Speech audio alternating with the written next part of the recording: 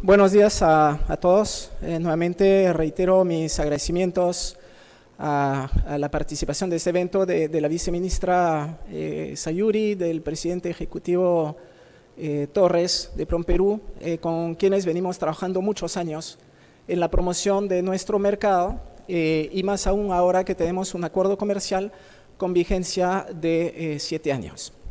Yo lo que les voy a presentar rápidamente es una herramienta eh, que les va a servir a ustedes para definir eh, varios temas eh, de relevancia para poder exportar a la Unión Europea. simplemente para entrar a esta página tienen que tipear dos palabras en cualquier buscador navegador de Internet, que es trade, de comercio en inglés, y helpdesk. ¿No? Si pone estas dos palabras, le va a salir esta, página. Eh, les voy a enseñar brevemente cómo se debe usar y usarla de manera más óptima. Entonces, la primera cosa que tienen que hacer es entrar en la parte de arriba donde ven para escoger el idioma, salvo que quieran seguir en inglés, pero también está disponible en idioma español.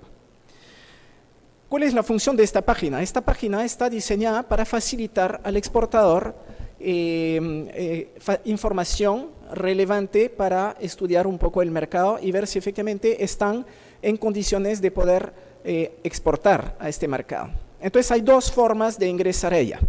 Una que es muy rápida pero limitada, que es la que está abajo, donde dice quiero exportar a la Unión Europea. Vamos a pasar brevemente para que vea cómo funciona. Debo escoger el país de origen, que en este caso es Perú, eh, vamos a marcar acá Perú, y eh, luego me va a pedir a qué mercado yo quiero ingresar. Entonces, digamos, como yo no soy chauvinista, voy a poner Francia. Y eh, lo que tiene que agregar, obviamente, es el producto que quiere exportar. Entonces, Ahí puede haber una diferencia en la digitalización de la nomenclatura aduanera entre el sistema peruano y el sistema europeo. Los cuatro primeros dígitos siempre van a ser los mismos, pero lo que pueden hacer acá es encontrar la partida que están buscando. Entonces, lo que marca aquí, no sé, puede poner cualquier cosa, eh, eh, puede poner, por ejemplo, producto del eh, reino vegetal, donde hemos efectivamente eh, hablado, la, la, viceministra insistió en el crecimiento de em, el crecimiento de las exportaciones de productos eh, del sector agrario. Vamos a entrar a frutas, por ejemplo, y eh, voy a tratar de ingresar acá. Hay un ejemplo bastante interesante que son las uvas, eh, que puede, carambas, ya se borró todo.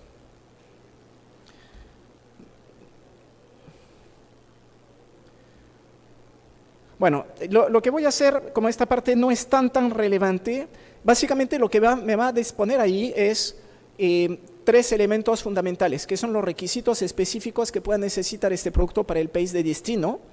Va a precisar también eh, la nomenclatura aduanera cuáles son las ventajas arancelarias de lo cual beneficia este producto justamente dentro del acuerdo comercial y finalmente, eh, una parte estadística, pero que es bastante pobre. Entonces, lo que yo les recomiendo es más bien entrar a la, eh, a la parte inicial, que verá arriba, arriba ¿no? y debería estar apareciendo en español, en donde eh, va a encontrar con mucho más detalle la información que necesita.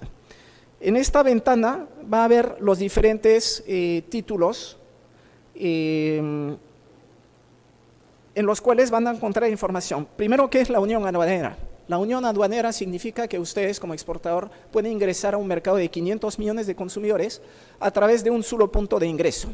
Vale decir, si su contenedor entra por Rotterdam, una vez que ingresó a los Países Bajos, puede circular libremente ahora en los 27 Estados miembros que conforman la Unión Europea. Em, luego tiene información sobre los procedimientos de importación o los documentos que hay que presentar. Luego viene la parte un poco más precisa de los requerimientos. Ahora, lo que me preocupa, vamos a hacerlo de nuevo, es que todo esto debería estar en español. Lo vamos a refrescar y vamos a ponerlo en español. Aquí debe estar, ok. Entonces, tenemos los requisitos. Obviamente, los productos para poder ingresar a la Unión Europea, dependiendo de su naturaleza, van a necesitar diferentes tipos de requisitos. Si hablamos de productos de consumo humano, lógicamente va a tener requerimientos eh, que tienen que ver con el tema de salud. Pero también puede tener que ver con el tema de etiquetado, con el tema de, em, de, empaque, o sea, muchos temas que pueden encontrar ahí. Ahí sucede lo mismo, eh, en donde va, cuando va a entrar a estas ventanillas, le va a pedir la partida arancelaria y vamos a hacer exactamente el mismo procedimiento que antes. Luego los derechos de importación. Esto es, es muy importante porque les va a dar una idea de cuál es el, ah, el, el arancel aplicable, en este caso, al producto que de- ustedes desean importar, exportar. Para esto, en la parte anterior, eh, que no me, eh, se me borró, ahí le sale justamente el tema de, eh, del arancel aplicable y ahí quiero enseñarle de todas maneras eh, lo importante, porque ahí va a aparecer efectivamente las ventajas arancelarias eh, de, las cuales se beneficia Perú a través del acuerdo. ¿no? Entonces, vamos a hacerlo acá de nuevo. Vamos a poner cualquiera. No, no, se me bloquea, no sé por qué.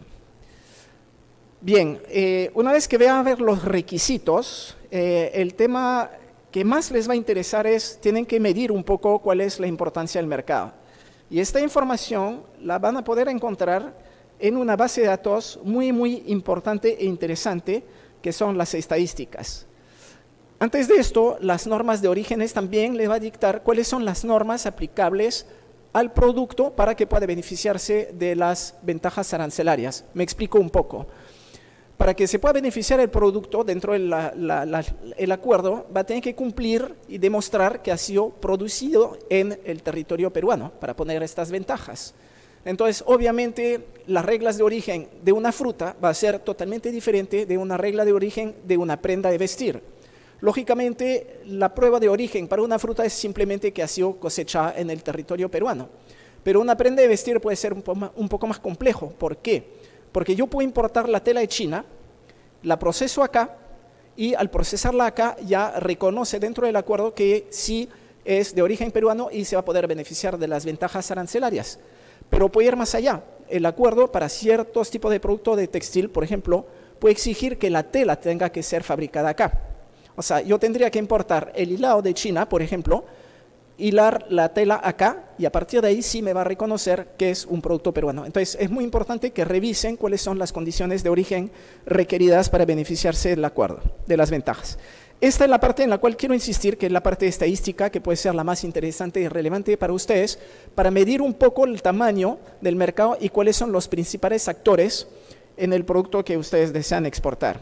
Entonces, simplemente lo que tengo que hacer acá, seleccionar un país declarante, yo les recomiendo tomar, en este caso, lo que viene inicialmente, todo el mercado europeo, Euro 28, que ahora es Euro 27, hasta fin, o sea, recién a fin de año pasará a ser Euro 27. Eh, todos los socios comerciales también, significa que quiero tener absolutamente todo lo que importa a la Unión Europea de mi producto de cualquier parte del mundo. Lo que tengo que seleccionar nuevamente es el producto que yo deseo exportar. Entonces vamos a ponerlo de nuevo, el producto de origen vegetal, y vamos a poner ahí las frutas. Productos de origen vegetal, pues si no nos vamos a extender mucho y tengo poco tiempo, ¿no? Frutas. Y ahí tenemos que bajar. A ver, me ayuda. Baja y, y me busca ahí este ¿no? Ya ve, se, se, cuelga.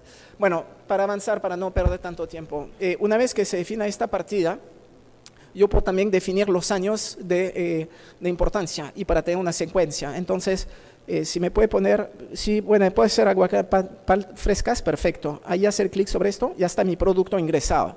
Luego voy a seleccionar 2018, 2017 y 2016 para tener una secuencia, para ver qué tanto evoluciona este mercado. Lógicamente, si veo el tamaño del mercado es muy pequeño y que no hay crecimiento, probablemente no vale ni siquiera la pena que me dedique a estudiarlo. Entonces ponemos buscar y ahí si bajamos vamos a ver el detalle. Entonces ahí la gran ventaja de ese sistema es uno es interactivo. Como ven ustedes aparecen al lado izquierdo la relación de los socios comerciales de la Unión Europea. ¿correcto? Están clasificados por orden alfabético. Entonces, si tomo el, Arabia Saudita, por ejemplo, veo que en 2016 exportó 9 mil 254 eh, dólares en, en, palta, pasó a 15 mil y a 66 mil. Obviamente sigue siendo pequeñas cifras, pero si bajamos, vemos que Brasil, por ejemplo, ya está exportando 8 eh, millones 400, 900 mil, Chile 232 millones y que va creciendo. Y vamos a Perú, por ejemplo, y vamos a ver cuánto Perú exporta de palta fresca a la Unión Europea, 315 eh, millones de dólares. Y ahí veo efectivamente un tema interesante, una tendencia creciente. Veo que efectivamente entre el 2016 y el 2018, 19 ya tenemos un crecimiento eh, relevante. Si yo entro al, tema de Perú, si hago un clic sobre la palabra Perú, lo que me va a indicar es a dónde, a qué países de la Unión Europea se está dirigiendo estos 200, eh, de esos 300, 300, eh, casi 400 millones de, euros. Eh, y ahí lo tiene, Alemania, Bélgica. Entonces yo veo que el primer cliente de la palta peruana es España, de lejos con más de 100 millones, casi 110 millones de euros. y los Países Bajos también. Esto es un factor estadístico, lógicamente no significa que en los Países Bajos es donde más eh, consuman palta, simplemente que entra por el puerto de Rotterdam, como lo explicaba anteriormente, y va circulando en todo el país. Pero ¿qué me da esta información? Esta información me da, uno, el tamaño del mercado, dos, tendencia, crecimiento, decrecimiento, y finalmente me menciona cuáles son los principales actores. Entonces, nuevamente, ahí qué información puedo sacar a partir de este cuadro. Lo que voy a hacer, voy a buscar en el que tiene mayor importancia, o sea, el que más importa, para ver de dónde importa esta palta, para saber cuál es mi competencia en realidad. Y ahí le va a salir efectivamente eh, eh, los diferentes países, pero no, eso es el, cuadro inicial. Yo creo que tienen que volver a Perú.